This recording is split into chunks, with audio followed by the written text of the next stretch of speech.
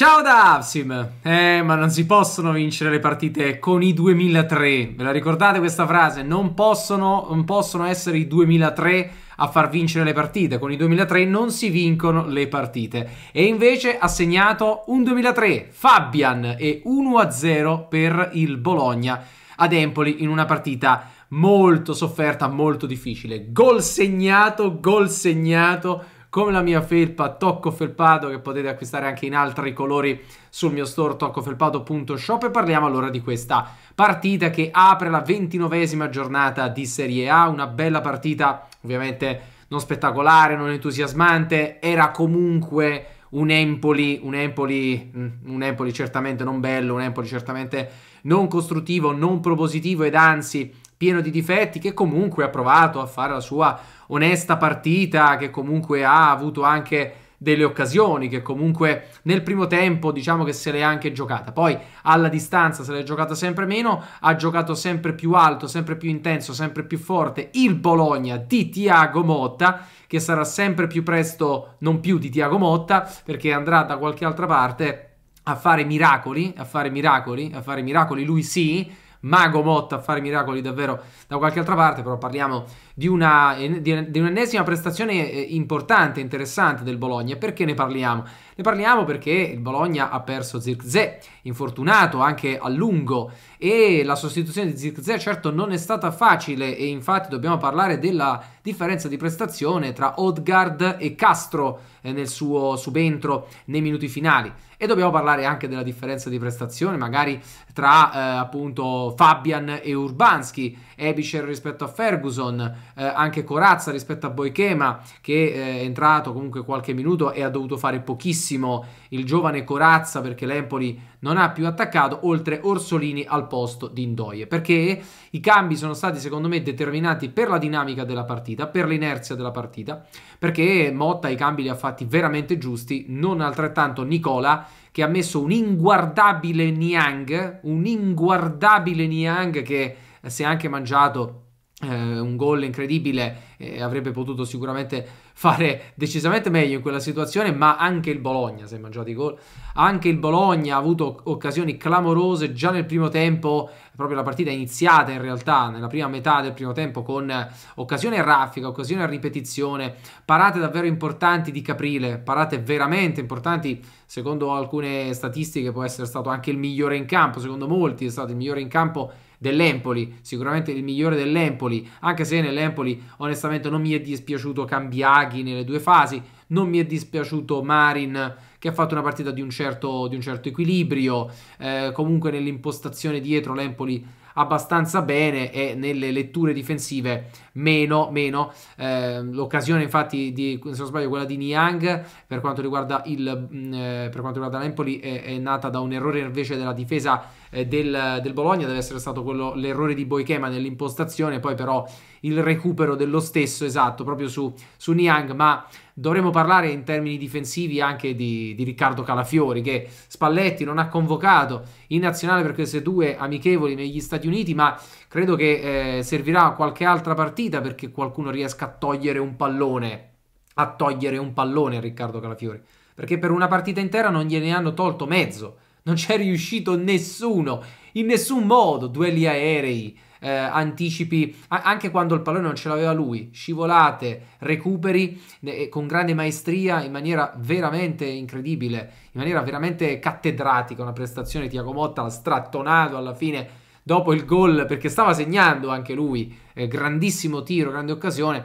poi gol mangiati, eh, qualcosa, ecco, Castro l'ha sfiorata nel, nel, nel, in una delle occasioni finali, quello che se l'è mangiato assolutamente è stato Orsolini. Veramente un gol divorato. E poco prima un altro gol divorato da parte di Salemakers che ha fatto però una buonissima partita e dicevo appunto dei cambi perché Ndoye ha fatto una buona partita ha partecipato tanto si è mosso abbastanza bene. Poi è calato è calato infatti ha perso un pallone ha sbagliato una ricezione di passaggio abbastanza evidente e lì Motta ha detto ok sei stanco ti tolgo anche perché eh, credo anche un po' ventilato il clima ma piovosissimo sicuramente non freddo ma fresco comunque quasi freddo eh, quindi una serata certo non facile terreno che però ha tenuto benissimo devo dire un ottimo prato un ottimo terreno quello del Castellani, questo va detto, e quindi esce Endoi, entra Orsolini che entra benissimo. Orsolini dà il cambio di passo, detta anche i passaggi in avanti lì sulla fascia con poi questo insomma lo do per scontato perché chi conosce il Bologna di Tiago Motta di quest'anno lo sa che si tratta di fare tantissimo movimento, esci, entra dentro, fuori, eh, passi e ti smarchi, quindi grandissima maestria, grandissimo bellissimo gioco, tutto, tutto, molto funzionale, tutto molto efficace, fluido, bello, a cui Orsolini ha partecipato sicuramente meglio rispetto a Andoie. Eh, mi è piaciuto molto comunque anche sia Ur- Urbanski, secondo me ha fatto una buona partita da titolare, è andato anche al tiro e anche Ferguson, sicuramente una buonissima partita di Ferguson, si è mosso davvero tanto bene ed è fondamentale Ferguson, veramente fondamentale nella costruzione. Poi Ebischer ha dato pure lui il suo contributo, ma più, i cambi più importanti sono stati Orsolini per Ndoye e Castro per Odgard, perché Odgard è un buonissimo giocatore. Odgard è un buonissimo giocatore, ha fatto già cose importanti in questa stagione, in questa partita però leggermente deludente. Però è chiaro, devi andare a sostituire Zirkzee, hai caratteristiche diverse e non riesci più di tanto. Qual è la differenza tra Odgard e Zirkzee? Evidentemente i movimenti a scendere per alleggerire la pressione e partecipare alla manovra. Zirkzee lo fa molto meglio, molto di più. Eh, Odgard è stato un po' più eh, terminale offensivo, però eh, per un Bologna che palla a terra, costruzione, dettagli non da poco, 6-0-0 nei minuti finali, nel recupero, eh, guadagni un calcio di punizione in difesa, lato corto dell'area destra, vicino alla bandierina, e, e, e batti palla a terra. Cioè lì no, non esiste lancio lungo. Non esiste lancio lungo, palla a terra, tanto il pallone passa tra i piedi di Calafiori e infatti, e infatti poi vai anche a segnare. Benissimo, tra l'altro, la difesa, tutta la difesa del Bologna in tutte le eventuali, ma eventuali ripartenze dell'Empoli nel secondo tempo e infatti, dicevo, i cambi sono stati determinanti perché eh, Nicola non ci ha capito nulla. Nicola non ci ha capito nulla. Ripeto, ha messo un inguardabile Niang, dopodiché lo ha tolto e ha messo Caputo che non ha fatto assolutamente nulla e ha tolto un buon Cambiaghi per mettere un Cherry anonimo che è entrato soltanto a fare un po' l'energumeno, qualche sportellata. Cioè da quando ha fatto i cambi l'attacco dell'Empoli si è azzerato, l'Empoli si è abbassato sempre di più, la metà campo del Bologna è diventato un miraggio e non sono riusciti più a recuperare e a costruire nulla, più a recuperare un pallone e a costruire nulla.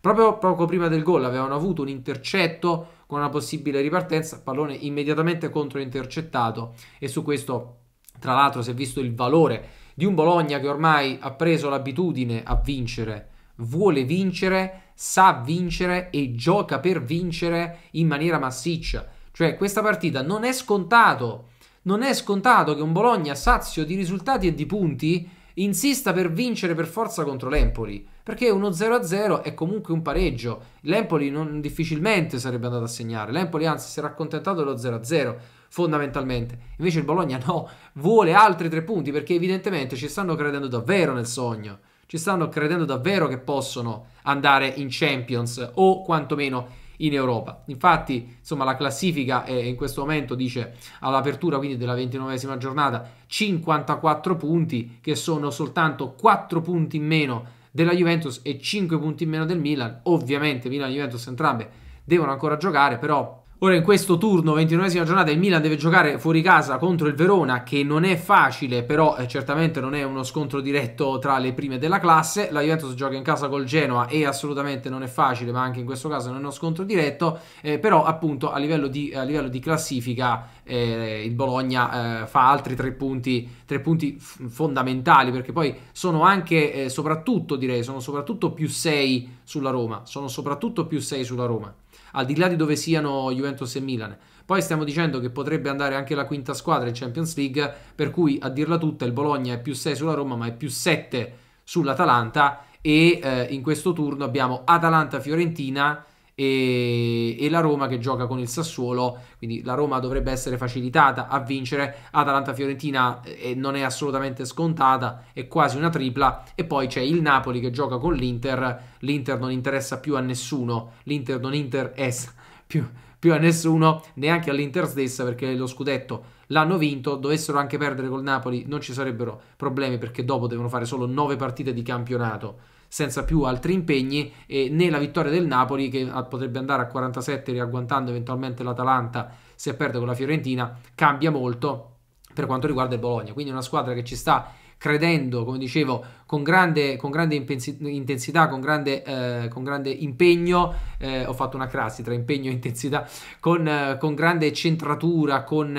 con qualità, con grinta, con voglia anche in partite difficili come queste partite che sembravano stregate, cioè sembrava che il Bologna non sarebbe stato in grado ieri sera di vincere questa partita, di fare quindi questi tre punti fondamentali. Poi anche sul discorso di fare i tre punti eh, che accontentano tanti, no? bastano i tre punti, vedi c'è anche modo e modo di farli, perché per andare a segnare il Bologna non si è snaturato non si è snaturato, ha giocato palla a terra, ha cercato di entrare eh, in area di rigore e nel terzo, difen- nel terzo, offensivo massicciamente con tantissimi giocatori, praticamente con tutti, ha fatto un gioco intelligente, ha fatto un gioco efficace, pulito, con tanti smarcamenti, c'erano sempre tantissime soluzioni, si andava al cross solo al momento opportuno, quindi non c'era questo crossing game disperato per cui dovevi comunque buttare il pallone dentro e, e infatti poi il gol, eh, il gol, nasce da una situazione in cui quanti ce n'erano in area? 3-4, oltre al tiro di, di, di, di Calafiori che era sulla tre quarti da difensore centrale. Quindi io penso che sia una vittoria di grandissimo valore questa del Bologna contro l'Empoli, un Empoli che comunque eh, deve ancora salvarsi 25 punti e rischia, anche se il Frosinone dovrà giocare contro la Lazio, non sarà facile, come abbiamo detto appunto anche il Sassuolo eh, ha una partita eh, impegnativa contro, contro, la Roma, eh, però è un Empoli che ultimamente sta anche resistendo, aveva perso 1-0 anche col Milan settimana scorsa e quindi magari eh, con avversari meno forti potrà anche fare punti per salvarsi, ma insomma problemi dell'Empoli e dei tifosi dell'Empoli che simpaticamente salutiamo. I tifosi del Bologna invece sono in estasi, non hanno mai vissuto eh, nulla di tutto questo di recente, in epoca recente, quindi è un sogno ma è molto molto molto concreto. Un grandissimo Bologna. Bene, grazie per la vostra attenzione, grazie per la fiducia nei miei video e nei miei commenti di partite di calcio. Empoli Bologna 0-1, gol di Fabian, un 2003 che ti fa vincere le partite e poi c'è Calafiore e poi ci sono tutti quanti gli altri, veramente una grande prestazione di del Bologna di Mago Motta che fa miracoli, lui sì. Ci vediamo molto presto e per il calcio voglio un allenatore.